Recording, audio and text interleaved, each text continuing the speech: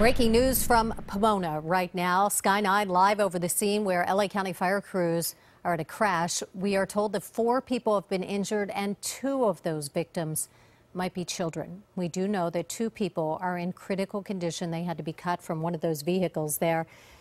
You can see how bad the crash is. It's on South Park Avenue and Rio Rancho Road. Of course, we're going to continue to follow this breaking news in Pomona. Four people injured in a really bad traffic accident. We'll give you any more information as soon as we get it.